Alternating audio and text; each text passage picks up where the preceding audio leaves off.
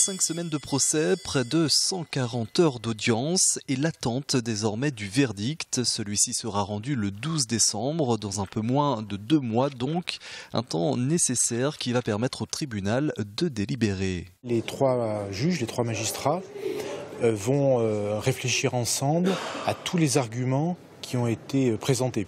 Et puis une fois qu'ils auront fait cette analyse, euh, ils confronteront les éléments euh, de réflexion à ce que prévoit la loi. Donc ça veut bien dire que encore et pendant deux mois, trois magistrats du tribunal de grande instance des Salles vont se consacrer à la réflexion et à la rédaction euh, de la décision qui sera rendue le 12 décembre prochain. Quant aux parties civiles, elles aussi restent mobilisées. Certes, ces huit prochaines semaines avant le jugement seront longues, mais elles vont aussi permettre à la VIF de se préparer. On a prévu déjà pas mal de réunions entre nous. Euh, on va essayer de se regrouper, histoire de, bah déjà de,